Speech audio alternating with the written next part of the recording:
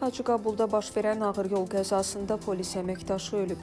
Qəza zamanı Şirvan polis şöbəsinin əməkdaşı serjant Yəhyayev Saməddin Sadıxoğlunun idarə etdiyi Hyundai markalı avtomobil aşıb.